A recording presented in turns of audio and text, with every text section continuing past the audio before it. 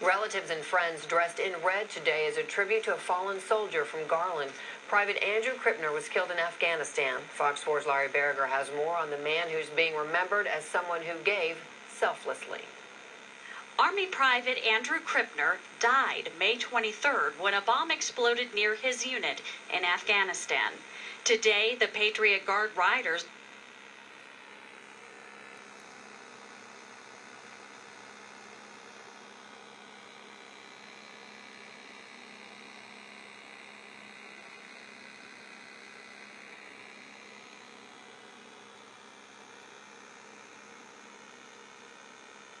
led Krippner's family and friends from the funeral in Plano to the Dallas Fort Worth National Cemetery for the burial.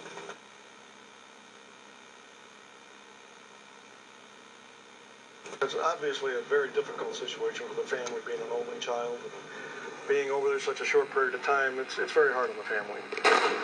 20 year old Krippner had been deployed just six weeks when his unit was attacked. The Garland native is his parents' only child.